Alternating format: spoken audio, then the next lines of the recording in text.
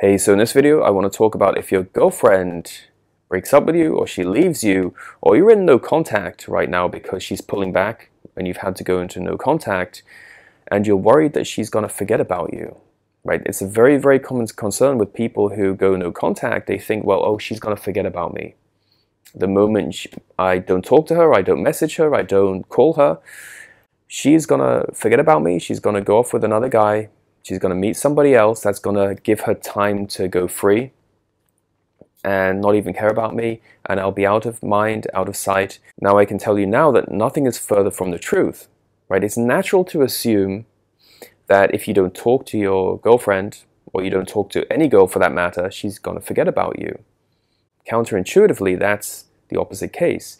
If you're always talking to her, if you're always messaging her, you're going to turn her off, you're going to push her away because, as I've talked about in my book Atomic Attraction, if you're too responsive, and they've done a lot of studies into this, they've done studies in the US, the UK, Germany, China, Israel, European countries too. And in every single country, men who are too responsive, messaging too much, they turn women off, right? They kill attraction. It's seen as weak, needy behavior, and that is a turn off to women because it shows that you're not mission focused, you're relationship focused, you're focused on her, you're trying to think about her and talk to her too much when you should be focused on your mission and your purpose. Now, to get back to this, will she forget about you? Again, counterintuitively, no. The longer you go no contact, the more days that go by, the more she begins to wonder about you, the more she begins to miss you, the more she values the space that you give her, the freedom that you give her. These are very, very important things. And it's very, very difficult to lean into this and to feel comfortable doing it. It's not easy. That's why most men can't follow through when it comes to no contact, because it's not an easy thing to do. It raises the anxiety levels.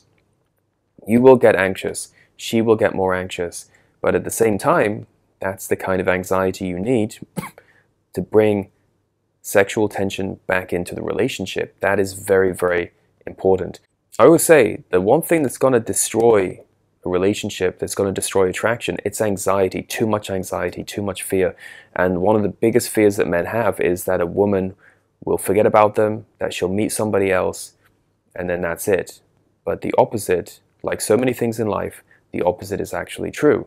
Now, if your girlfriend's pulled back, she's left you, and you want to get it back, and you want the strongest possible chance of getting it back, I highly recommend you check out my Get Her Back action plan. You can pick up your copy today by clicking on the link below. And don't forget, I do Skype, phone, and email consultations. You can book a consultation with me on my website, developattraction.com.